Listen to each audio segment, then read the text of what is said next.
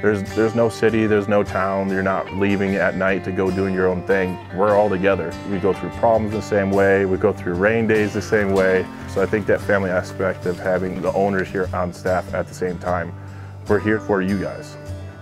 I'm an old football player, and the only thing I really know is how a team can succeed or fail together. If we fail at something, we do it all together. If we succeed, we do it all together. The little things are impactful for our guests, and that's what they remember. Is people remember people and the things they do for each other, not necessarily the giant fish that they catch. My name is Mike Lemke. I'm the owner operator of Wollaston Lake Lodge. My motivation is to see people take a memory away from this place that they might not have had. wicked.